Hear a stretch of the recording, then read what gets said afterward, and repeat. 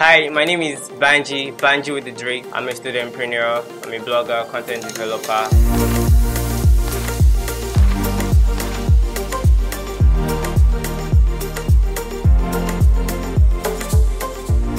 My mom is a very industrious woman. I think I got that spirit from her. I've always wanted to push for myself to do something out of the norms, you know, to become better. I've always wanted to have a voice in society. So I felt like I didn't just want to be among the crowd. I want to always stand out. My dad used to be a journalist, so I think all this influence added to who I am right now.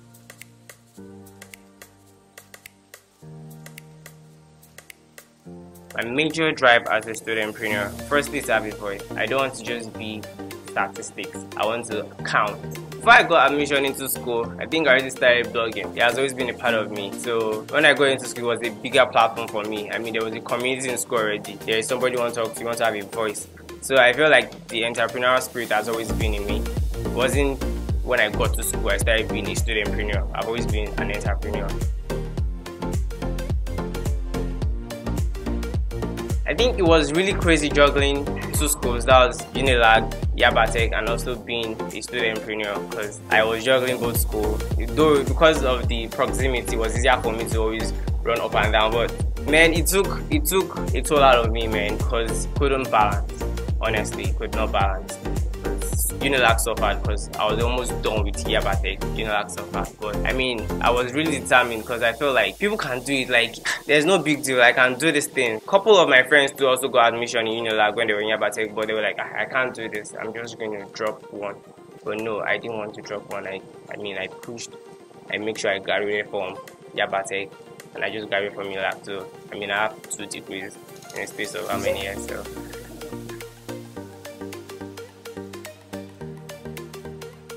Being a student entrepreneur, firstly, I started me networking because I mean, you get to meet a lot of people doing what I do. You get to meet a lot of people, and after the school, there's a whole lot of big world out there. There's the labor market there. So I mean, you already have a leverage, you already have the networking, so it's easier for you to go out there and you know just give out your best. What value do you have as being a student?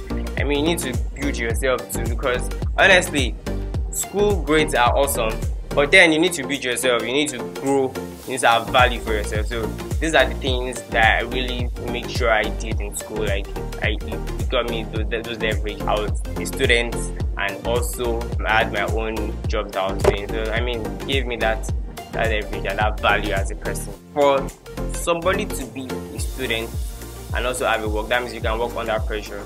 You can juggle things. You can multitask. Because honestly, it's not easy. It is not easy. You have to read. You have to do assignments. You have to meet up with your jobs and everything. One thing that they should not take out of student entrepreneurs are the fact that they can multitask, um, the pressure that they have to deal with, and just adding value to the society as a student entrepreneur. So I think that should not be overlooked. In, in life, I never consider anything as failure. I consider as experience and learning. So every time I do things and probably have not done excellently well, I see it as an opportunity to do better because I don't consider things as failure to me. I mean, it's a, it's a means not to fail or a means not to try that means again. My brand is called BMA Black Media Africa. We have a subsidiary called Giddy Nation, a youth-centric lifestyle community. We have a blog. The blog is www.giddyclick.com and we have a TV show that we also produce on Giddy TV called Faculty of Men. So we're trying to expand have a print um, a magazine very soon. BMA basically we do advertisements, we package events, we um, do PR, and yeah, we're just a media firm basically. That's what we do in BMA.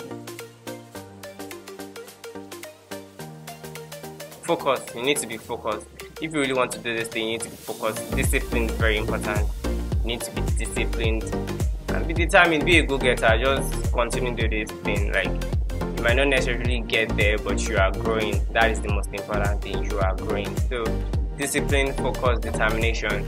Hi, my name is Banji, Banji with the Drakes. Um, I'm a student entrepreneur, I'm a blogger, content developer, I'm a media influencer. You can follow me on my Instagram page, Banji underscore Drakes on Twitter Banji underscore Drakes. My website is giddyclick.com and also on my YouTube station is Giddy TV. Thank you.